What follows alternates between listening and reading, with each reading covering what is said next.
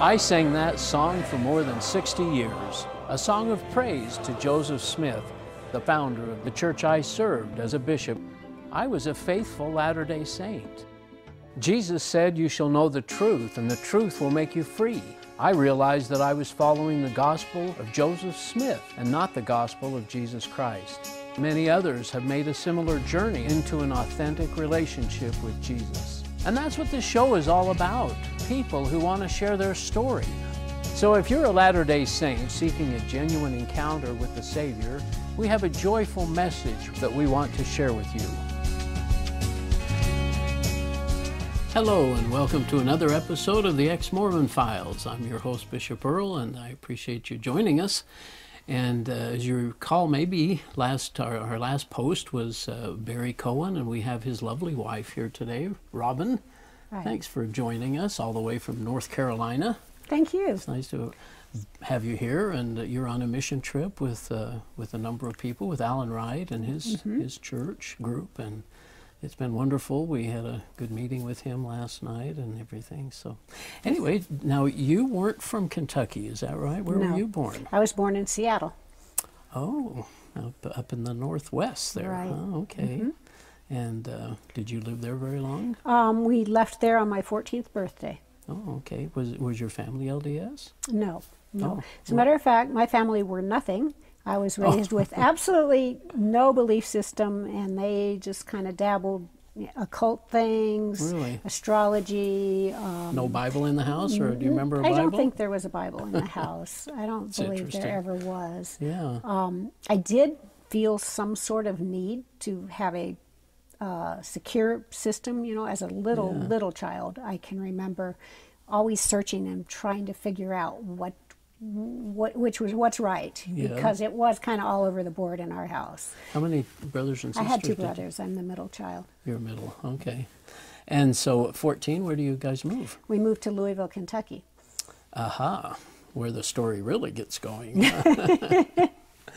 and so uh, that's where you went to high school, to high I school guess. and- okay. Um, and then, just being kind of uh, adventurous and maybe a bit rebellious, I went to college in Utah, in St. George at Dixie College. Oh, you did. I did. Um, did not become a Mormon there, but that was my first exposure to the Mormon And church. what made you choose Dixie? Never been to Utah, never been to the desert, and just just kind of wanting to experience something new and something different. And, Wow. Yeah, I really actually had no idea that there was a whole state with a whole different belief system than most of the country until I know got there. most Mormons Yeah, right, there, exactly. Didn't know anything about it. How fascinating. Thought Yeah. it sounded like it had a nice climate, you know. Hmm. You sense God's hand in that, of course. Uh, yeah. or Hard no? to say, but Yeah. that's kind of you know, kind of how I got started towards that. uh, Okay. so. Did you hear much about Mormonism down there? Anybody try to? Oh, sure. I had a missionaries, or- boss. I worked for the campus. They had a catering system, and I had a, a boss that ran that. And he tried. I had a Spanish professor that I babysat for sometimes, and he and oh. his wife a, a little bit. But they Oh. Didn't get very far then because idea, I was 18 and 19, and there was way too much to do, partying and fun things to do to get interested in that at that point. Stuck with religion. That's right. Yeah. So you've finished there, or do you go on? Where do you went go back after to that? went back to Kentucky. yeah. Um, and I stayed there for the next few years. And then at 23, you know, off and on, I had talked to the missionaries. I talked to the Oh, really? missionaries in Utah actually, and Yeah. and you know, just kind of listened to them a little bit, but didn't get too serious about it. And then I talked to them again because I still had that need that I had had as a little girl to figure out what I believed, and I. I really hadn't figured it out. You sense there was a God that you wanted to. Uh, yeah, I did. close I, to, I, I felt like I need to know the rules to live my life by. I was just kind of drifting and didn't really. Yes, I need some kind of compass. Yeah, Yeah. some kind of direction. Oh. Of course, didn't know a Bible, didn't have a Bible, yeah. um, and so you know because I had some exposure to Mormonism, I was still curious about it. And from time to, of course, we didn't have the internet. You couldn't just look up a question. yeah, so sure. you know, for, I, there was still a little interest there. yeah. So. So what happens at age 23? Did you say? At age 23, I had met with the missionaries, and I actually did get baptized into the Mormon Church at age 23 Oh. in Louisville. the message they gave. Uh, what did you hear? Um, Well, I kind of think I got the budget version because they didn't give me any movies or anything, and I complained about that a bit. But you know, they No had the flip chart. Yeah, I'm like you know, the flip chart discussions, uh, the typical First Vision and Joseph Smith, and um, you know, the promise in the back of the Book of Mormon about reading it and praying about it and getting the uh, a testimony, a witness of it, and all of that. Um, and uh, yeah, so I did that. I did get a testimony, and so I kind of thought it was kind of nice for a while. I was kind of in a, a good place where I thought, well, Yeah. I finally figured it out. I finally, Yeah. you know, am on track. Felt to- like you've joined the true church, or the only ch- true church, I guess, as they, as they say. Interesting. You, so you read the Book of Mormon, prayed about it, and yeah, in the Book of Mormon, uh, to be honest, it's pretty boring.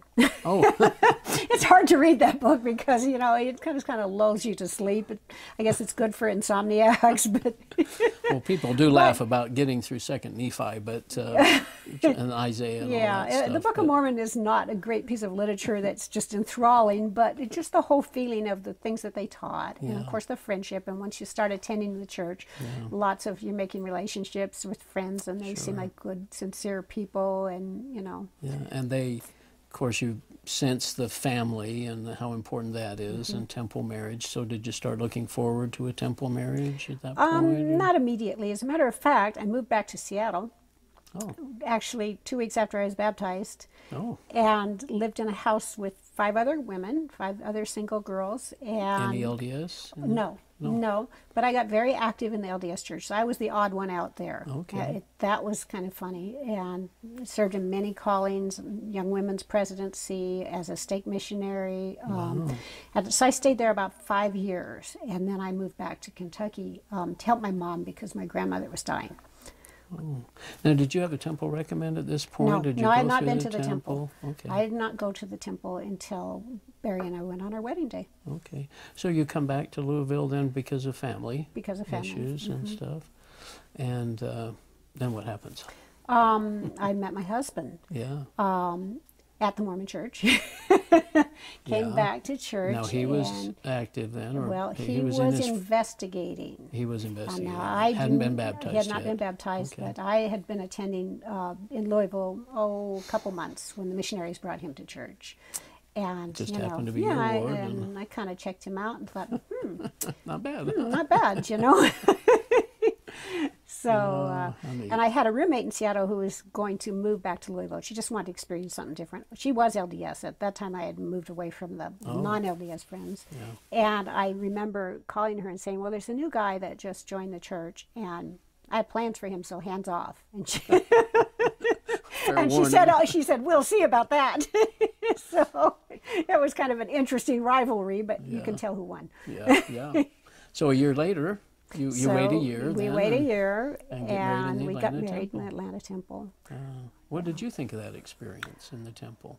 Um, the endowment was, and I had some Mormon friends who you know I had known for several years in Seattle that had tried to prepare me for it as best As they as could, can, and so it wasn't a total you know shock, but. Um, the endowment was bizarre. I thought it was just extremely strange. Did you know that masonry was involved in that? I didn't all? know it at that time. Yeah. I did not. Um, I thought that the at the time of the sealing, because we we got took our endowments out on our wedding day. Well, yeah, because you make that Yeah, trip yes, from made that Louisville. trip. Yeah. And um, at the time of the sealing, all, the only thought I had going through my head, well, you know, at first, even though my parents were pretty supportive and pretty accepting, mm-hmm. I was sad that they weren't going to be at my wedding because they couldn't go. But when I realized that I was getting married wearing this green apron with fig, fig leaves embroidered on it over my wedding gown, I was kind of relieved they weren't seeing it. And that was the thing going through my head is I cannot believe what I'm wearing to be married. and that was ne- yeah. I never thought of that. Yeah, That's that was funny. crazy. I never So- because guys aren't worried about wedding dresses Mm-hmm. or anything, but you you sense that that was so funny. That yeah, I was I was really embarrassed. I thought, oh, I'm so glad my parents don't know that my mom doesn't see what I'm wearing.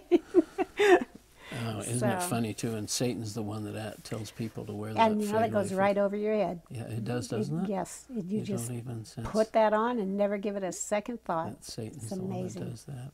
But you were, then you were active and raised your family Right. and, and so on. So what happens? Now, um, Barry said that every once in a while you'd have a question about something. Um, what kind of questions did you have? every now and then, um, some of the temple, mainly the endowment, would just start to bother me, or some of the covenants. For example, uh, the covenant that you covenant to give all the, your time, talent, resources. I'm not, I'm not doing justice to Yeah, it. To the, the Church of Jesus Christ of Latter Day Saints. Well, To we don't do that. Yeah, yeah. to the church, not to Christ, not to the Savior, not to God, Yeah. but to the church, you know. Mm. And I even went one time and asked somebody in the temple presidency while I was there, because that's the only You place you can, and said, Well, we don't do that. And they said, Well, you're taking it too literally. And so I went, Oh, so I, I, we don't really have to do that? Okay. Uh, what I said was, I'm not sure I'm willing to do that. I'm making this covenant and I'm not sure I'm willing to do that. I mean, if the church Yeah. called me tomorrow and said, we, We're taking your house, I'm not sure I would do it. And they said, You're taking it too literally. So, Church you would know, never ask that, but but that's what it says. but that's what the that's covenant you says. Yes, yes. Yeah. So there were, you know, there would be times like that. Yeah. Any other doctrinal issues or anything that Um, I mean Joseph Smith or polygamy or anything uh, you know, a lot of the Mormon, my friends, Mormon wives, we would laugh about polygamy and we'd say, well, I hope the next one's a good cook or, you know, I hope she likes to clean. Yeah, and we would kind of like to, you know, joke around that we were going to be the queen because we were the first wife on Oh, our that- throne and we were true. just going to have staff then. you, You, could, know, you could interview wives Right, right, and, and we'd pick some ugly ones, and we'd just give them all the jobs, you know. so we had ways of coping with that Yeah, in your mind by, yeah. you know, laughing it off and joking and so on. But there would be doubts from time to time. Uh, But as time went on, you would, you know, my husband was in the branch presidency, and he was just completely, totally devoted Mormon, and you know, I was too. And you had testimony but there were occasional little moments of rebellion in me. Uh, for example, the church came out with a movie and they showed it to the entire congregation. They had a special meeting and they said, We want you all to watch this movie and we want you to pray about all of your neighbors and friends and pick who you're going to commit to show this to and try and to bring them into the church or introduce the church to. And I watched the movie and felt like it was very manipulative because it was a movie and I, long, long time ago where a child died and you know and a child died and then the great peace they gave them telling them they're going to have that child again. Oh. And it was of course pure fiction. And so when they called us in and said have you chosen who you know Who your you're friend? i said to? i will not ever show that movie to anyone. That is manipulative. And I, i'm not going to do it. And so you know they just oh. well, okay. So there was a little rebel in me from oh. time to and of course poor barry Uh. Yeah. in the branch presidency would be like you know Interesting. So you were, uh, yeah, a little rebellion. there was a little So. Jesus, where was he at in your life at this point? don't think i knew much about him you know he had his name on our church Yeah. uh, and when you take the sacrament at sacrament meeting, did you?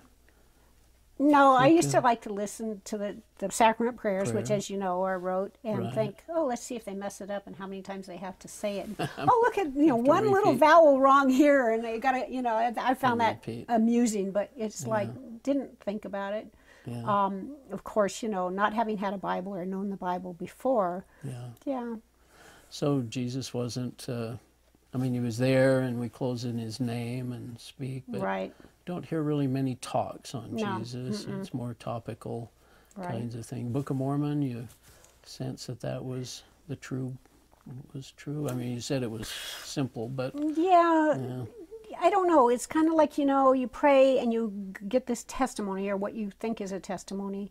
And you think, well, okay, then it's all true. So you don't bother to investigate. yeah. And if you don't get the good feeling, then it's your fault. That's right. Right. Then you're not sincere. It's not the book's you're not fault. praying with a true, pure heart and real intent. Then, yeah. So Yeah. it's a back on you. Yeah. And it, you know, I even had, I would go through periods from time to time where I would get some doubts, and they might grow. And I had a few good Mormon friends, women that I would talk to, and and I can remember some of them saying, "Well, the way you get a testimony is to bear your testimony." I said, well, that just sounds like if you tell a lie Self- long enough, it becomes the truth. That's right. You know, And it's or, self-fulfilling. or emperor's new clothes here. You know, Yeah, oh yes. I feel it. When you don't, you know, I thought, you know, I just didn't buy that exactly. Yeah. The interesting thing, the one woman who was pretty effective in getting me back to where I was really believing, is the woman that Barry spoke of in his testimony. Oh, okay. I would get to a pow- I'd get to a point where the doubts would get almost unbearable. And here I am. I have three small children. I'm a stay-home mom. I don't have any job skills, and I'm thinking, if I find out this isn't true, what am I going to do? That this is going to just destroy my world. Yeah. So you really, you, you're not really seeking truth because you cannot see any escape. Yeah, Um, and so I would turn to this friend, and she, yeah, she, we were very good friends, and she would, she let, she taught the seminary classes for the high school students, Oh, Yeah. and we would meet and we would study, and eventually, you know, we'd pray, and I would get that strong testimony back, and um, in the midst of that is when Barry gave her a blessing of a long life, and Oh, she was dead she- Oh. in two weeks. So not only did that plant the seeds of doubt in him, I didn't know it at the time because we Right. didn't talk about it, but it took out the person that was reconverting me on a regular basis. So, Oh, so you lost so that yeah, resource, so both yeah. of those things happened So simultaneously. what did you think there. of Barry when he said, "I'm I'm just not going to church again"?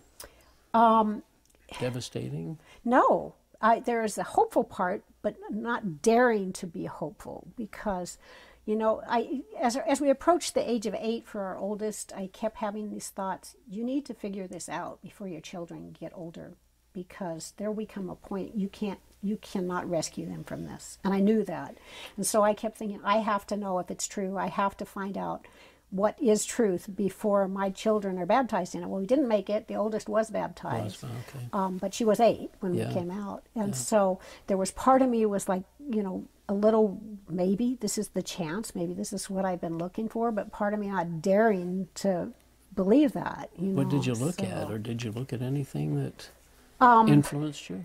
Now, oh. he, he mentioned the great planet Earth. Yeah, that he did that when he was a teenager, and it's interesting too because in fast and testimony meeting he would bear his testimony and he would tell about accepting Christ as a teenager, and and I was embarrassed when he said that. I would think, 'Cause that isn't excuse me, but that's not that we don't do that. Mormon- we don't do that in Mormon, you know. words. So, but uh, honestly, I think that's why we're out is God's faithfulness to Him. But um, Awesome. I didn't really look at. Um, didn't really look at that, but when he said, "I'm not going," and it, it was um, just the the works were overwhelming. You know, he- was a young dad, three kids, an accountant. It was tax season. He was working 65 hours a week, Yeah. and he was supposed to give the talk the next day. Right. And he called me from work and said, "Well, I can't do it. I can't prepare this." And immediately he said, "Well, I'm not going to go sit up there on the stand with the branch presidency and not speak." You know. Right. So I went without him for uh, about a month. And but the um, pretty early on, we decided until we figured out. You know, I came home the first time. I went by myself, and when I came back, I said, "Well, how do you feel?" And he said, "Well, not too bad." I said, he said, "I don't think I'll go next week either." And you, well, you said something to somebody that it, you'd eventually, if he doesn't come back in right. six I said weeks- that to the branch president. Yeah. I knew. I knew what to expect. I knew that pretty soon they would call me into the office and they would want to give me a blessing and they would make all kinds of promises to me, and that happened the next About him, week. And when the branch president offered that, I declined the blessing, and um, I said, if he's not back, I, it was actually a month. In a month, I'm leaving too. I said, I'm giving you notice on my calling because if I say I'll serve till you release me, I know that you won't. Um, so you've got a month. And from that time on, we did not bring the children. Barry stayed home. And, I, and I told the branch president that we would be visiting other churches if, it, if that happened, if he didn't come back. And he, he said, well, um, he was kind of, he was really taken aback. Sure. and he said, well, okay, but uh, I want you to come here every other week so you can compare. Oh, And I looked him in the eye and I said, after 15 years, I know what's here. yeah. So, which was really bold. yes, it was. So, did you uh, start coming to? Uh, how to say this? You started going to other churches then? well, not quite yet. No, I, I fulfilled that month that I promised them, Yeah. but we never took the kids back, and I was in the primary. And so, as soon as I uh, well, I came home. I should back up a little bit. I came home and I contacted this friend that Barry talked about out in Seattle Right. and said, Well, we're thinking about looking at other churches. And she sent this literature. Oh, and, right. and when Barry said, You can read it because we're so unworthy, why not? because what had we done? He'd missed That's church twice. He had missed church twice. That's it. Yeah, you that's- know, I'm- that now I'm it. unworthy. Right. And so my whole family is too. Yeah. Um, and so I just started this reading frenzy. I stayed up all night and read it. I read straight through for about 36 hours. And when I finished that packet, I knew that I had been deceived. I knew the church wasn't true because, you know, it was like just showing all the doctrinal changes. Anything stand out particularly? Just or just, Everything. Everything stood out. Um, you know, Joseph Smith taking the other wives and the wives before he announced polygamy, the uh, changes in the Book of Mormon, Oh, all the changes, stuff the, was in the changes of uh, the testimony of the three witnesses. Everything stood out. Um, but I had no idea what was true. No measuring stick for truth. I think that's one of the concerns I have about people leaving the church is they don't have a foundation in the Bible. They don't trust Mm-hmm. that, and they don't have one in Jesus. That's, that's Methodists me. going to Episcopal, they would They still take, take Jesus with them. but a Mormon is challenged with that. And why do you think that is? Right. Well, because they, they don't have Jesus. I mean, the only place Jesus is is in the name of the church. At least in back in 1994, that's the way it was. Yeah. Well, it ah. was with me too, and that's very recent. Yeah. Right. I mean, We just don't know who Jesus is. that's absolutely right. yeah, That's and don't trust the right. Bible. But I was back to where I was as a as a young adult in that desperate place of Yeah. not having my Sure. my knowing my path or the rules to live by or you know it was gone and we did start visiting churches then after that time was up and you know I couldn't believe anybody because Yeah, they could show me things in the Bible. Could you know yeah. pastors would witness to me and show me things. I go well why would I believe you? You know you're a nice guy so were all these Mormons you know? So why would I believe you? happens to bring I called a ministry and I, I kind of explained the situation and I said, I need a Christian ex Mormon because nobody gets me. I know it's a very lonely place Yeah. for someone coming out. It really it is. really and, is.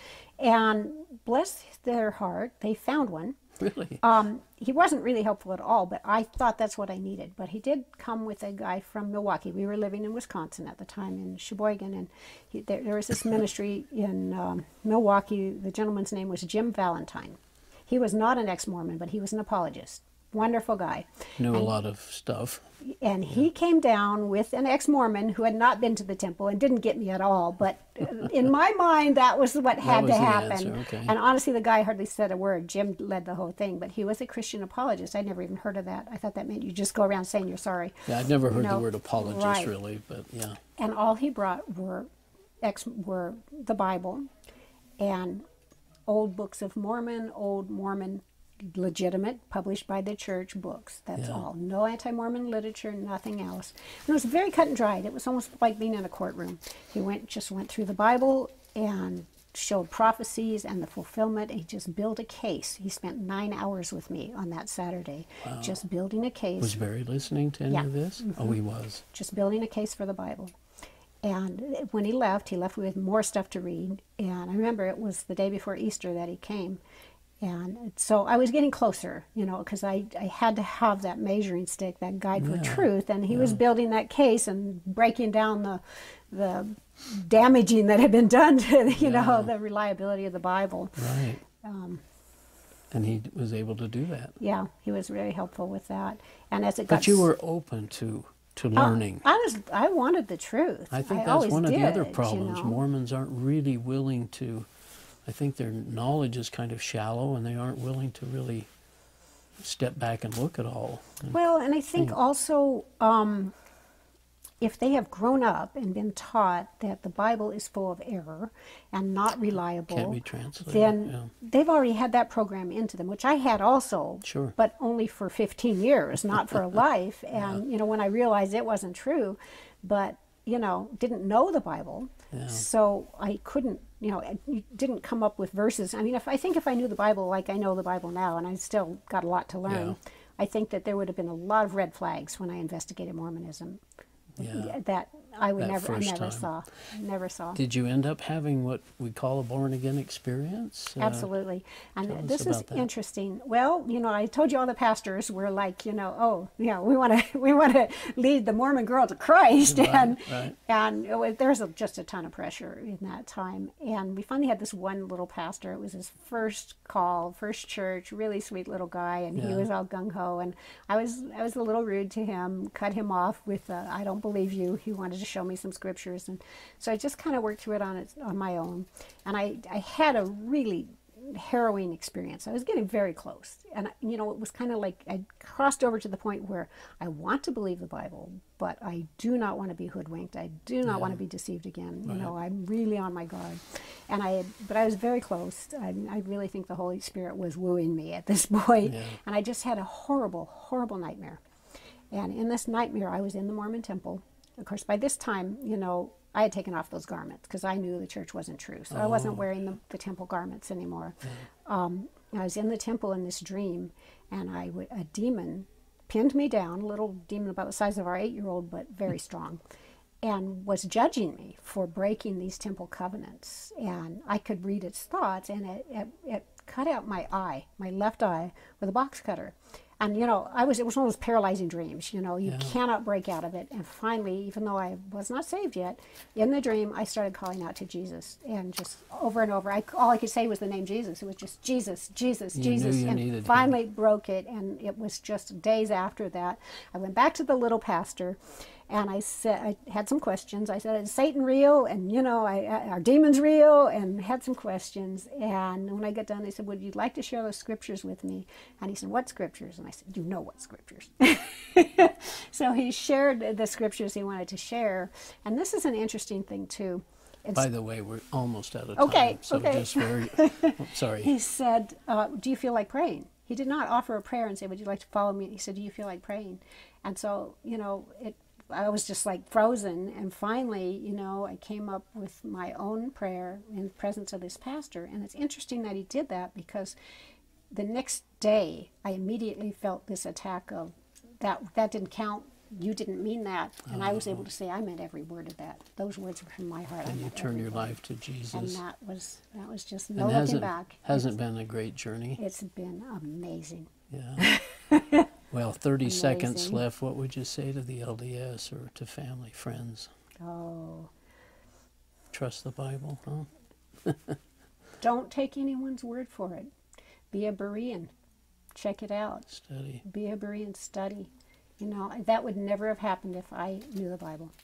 Because you would have compared that and said, I would "Oh, have. Yeah, there would have yeah. been so many red flags. It's not even in the Book of Mormon, most of that stuff either. No, Robin, it was not. so nice to meet you and, and Barry and have you share your stories. And I wish you the best in your journeys. And I'm sure you're helping a lot of people. I hope people listen to this and are influenced for good. Thank you. Thank Thanks, you, Earl. everybody, for joining you. us, and we'll see you next time.